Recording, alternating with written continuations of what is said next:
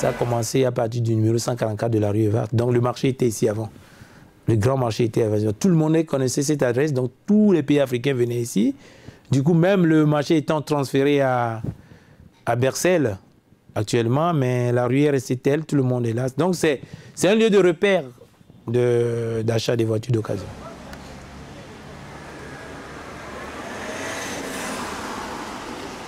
Concernant la rue Evat, il y a une quinzaine d'années maintenant que je suis à la rue.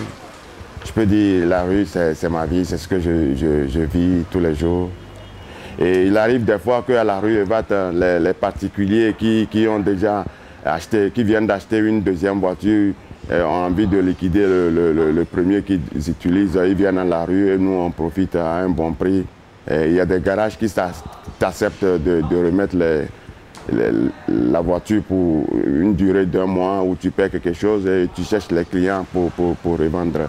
Comme les voitures euh, abandonnées en Europe euh, s'en vont tous en Afrique, il y a nos frères africains qui viennent ici pour acheter. Bon, arrivés nouvellement, ils sont dans la confusion, ils ne savent pas où diriger.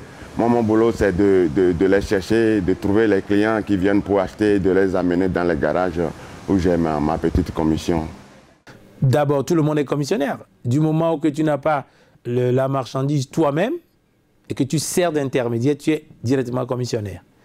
Donc il n'y a pas une étiquette pour dire qu'il est commissionnaire, mais c'est le geste qui, traduit ce que tu fais.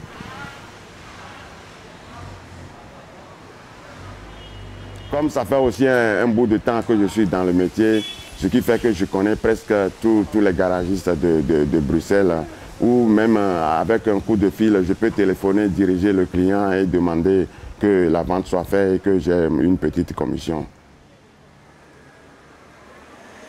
C'est vrai que quand on arrive directement dans la rue, on voit des gens un peu partout, à chaque lac du coin. Ça fait peur, mais bon, c'est uniquement pour la vente des voitures, c'est ça. Il n'y a pas d'autre chose à ajouter.